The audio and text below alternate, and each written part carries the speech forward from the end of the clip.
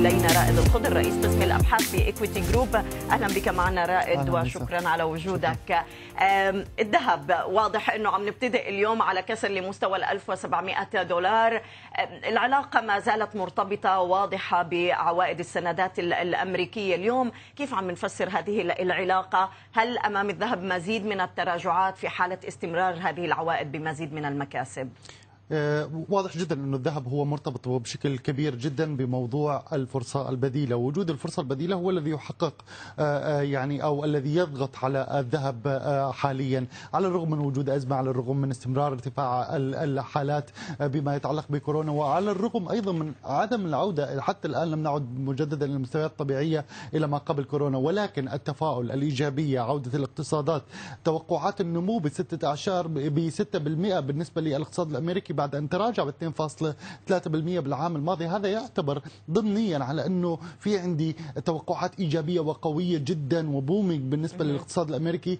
آه، ذلك حقق ارتفاعات في عوائد السندات الأمريكية وأيضا توقعات ضمنية بأنه سوف يتجه الفدرالي الأمريكي لرفع أسعار الفائدة. بالتالي بالنسبة للمستثمرين المعادلة واضحة في رفع لأسعار الفائدة. سيتم بعد ثلاث أعوام من الآن أو بعد عامين من الآن سوف يكون هناك طلب على السندات التي آه، يعني آه، أجالها بعيده نسبيا عند العشرة أعوام وبالتالي الاستغلال للفوائد المنخفضة حاليا بانه يكون هناك اتجاه نحو السندات الأمريكية. ذلك يحقق ارتفاع عوائد السندات الأمريكية في الفترة الحالية. ولكن في نفس الوقت نحن عندنا آه، نقطة مهمة جدا واللي هي إنه آه، ال- ال- التضخم على وشك إنه يكون في عندي to blast off إنه يكون عندي ارتفاعات حادة جدا في نعم. مستويات التضخم. عندما نصل إلى نقطة التوازن التي يكون فيها المزيد من التيسير النقدي غير مطلوب وانه الأسواق عادت إلى العجله هذه النقطة ستكون عبارة عن مرحلة يمر فيها الأسواق وستسبب ارتفاعات حادة في مستويات التضخم. تضطر الفيدرالي على على مستوى اجتماعي إلى ثلاثة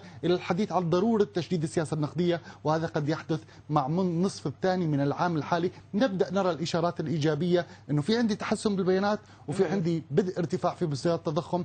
يجب أن ينعكس على أسعار الذهب. نعم وإحنا أكيد بانتظار نهاية هذا الأسبوع بيانات الوظائف الأمريكية. يعني اليوم قد إيه عملية التيسير النقدي ممكن تعكس آه، آه، تحسن الاقتصاد برأيك؟ هل الوظائف ستكون عاكس حقيقي لهذا التيسير النقدي اللي عم تقدمه الولايات المتحده لا أعتقد انه للأسواق؟ يكون في عندنا نون فارم بيرو راح يكون ببيانات إيجابية قوية جدا. نعم. انما سوف يعزز الإذهان إنه العودة ليست سهلة لما كانت عليه الأمور قبل آه، ال- ال pandemic أو قبل الجائحة وبالتالي من الممكن جدا إنه تكون البيانات مختلطة التي ننتظرها خلال تعاملات الأسبوع آه، ليس فقط معدلات البطالة. ممكن معدلات البطالة تكون هي إيجابية نوعا ما بانخفاضات ولكن آه، الأنظار تتجه إلى مزيد من البيانات المرتبطة بالتشغيل مستويات التشغيل وما هو التوظيف؟ لأنه في عندي أنا توظيف على durable goods على factory orders على مستويات آه، تنم عن إنه طلب مستمر بالفترة القادمة وفي عندي توظيف هو عبارة عن آه، رأب للصدع اللي كان موجود سابقا أو عودة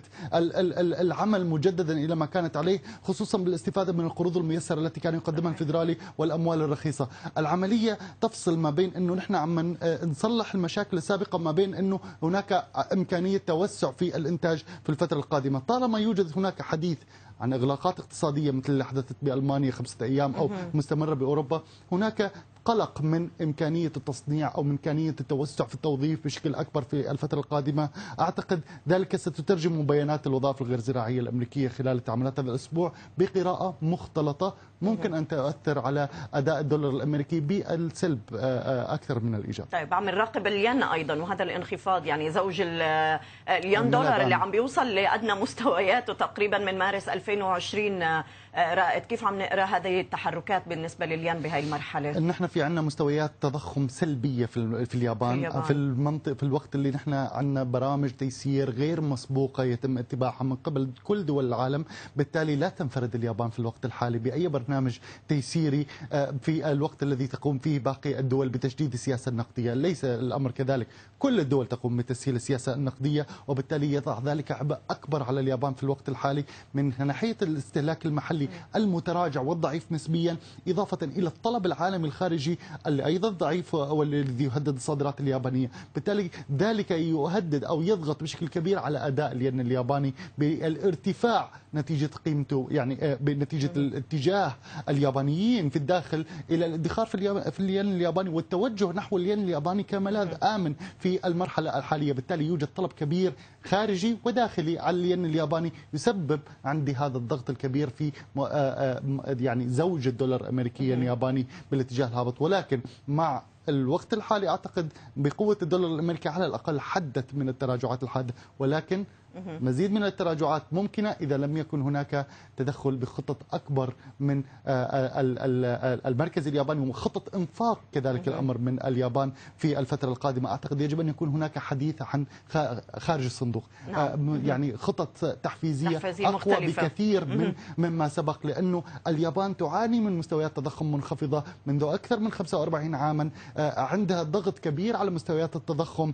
يوجد هناك عزوف عن الاستهلاك المحلي أو تقليل والترشيد في الاستهلاك بشكل كبير. وأحد أكبر تحدياتها هو رفع مستويات الاستهلاك المحلي بشكل كبير. وفي الوقت الراهن مع وجود الأزمة يعني آه، آه، يعني يمكننا أن نتخيل الضغط الموجود على صناع القرار المالي والنقدي في اليابان. أشكرك رائد الخضر رئيس قسم الأبحاث في إكويتي جروب على كل هذه التفاصيل.